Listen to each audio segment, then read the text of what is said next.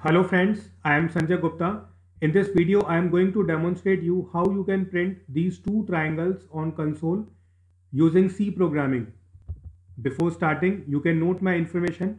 You can follow or subscribe my YouTube channel that is Sanjay Gupta underscore Tech School. You can download my Android app that is TechImage which is based on programming and it is available on Google Play. Now coming on to the topic, First, I am going to demonstrate how you can print first triangle with the help of this C program.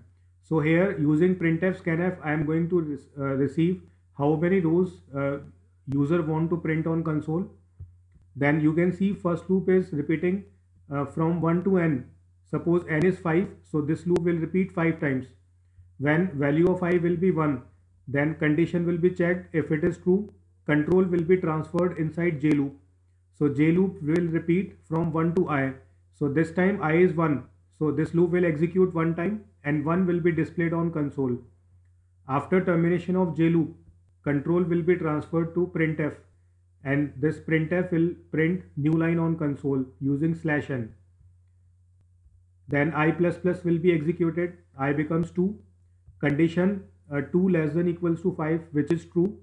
Again control will be transferred on J loop this time j will repeat two times. So first j will print 1 and second time j will print 2 so this way first pattern will be displayed with the help of this code. I am executing this code so that you can see the output. You can see first pattern is displayed on console with the help of this program. Now we have to print the first pattern in reverse order.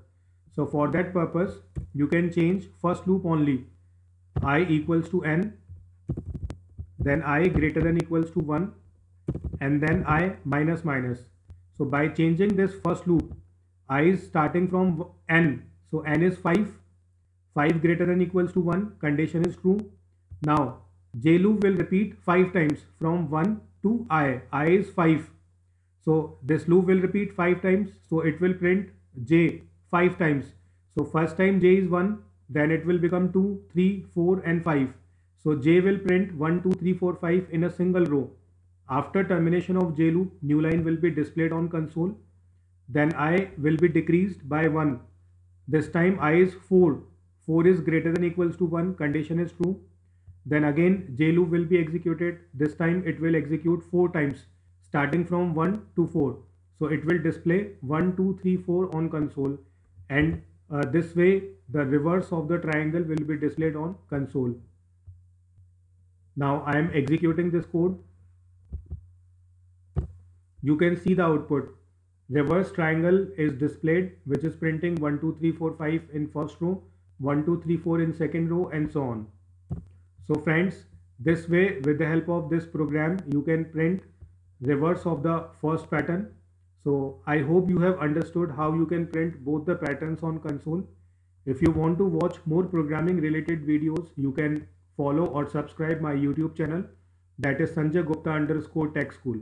Thank you for watching this video.